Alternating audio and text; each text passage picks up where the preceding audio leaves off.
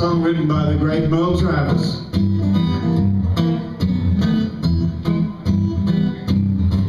Some people say a man is made out of mud.